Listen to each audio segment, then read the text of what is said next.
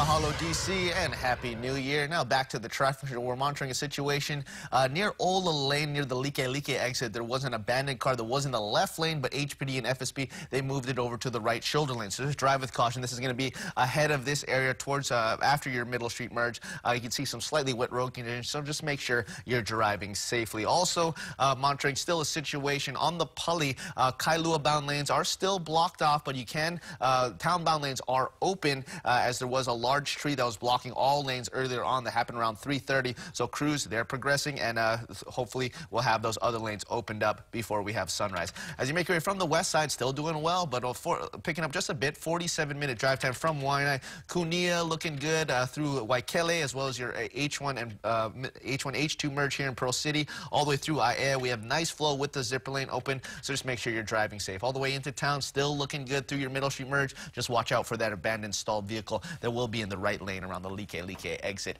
With that, let's send it over to Kelly. She's got more on your New Year's Eve weather. Good morning, Kelly.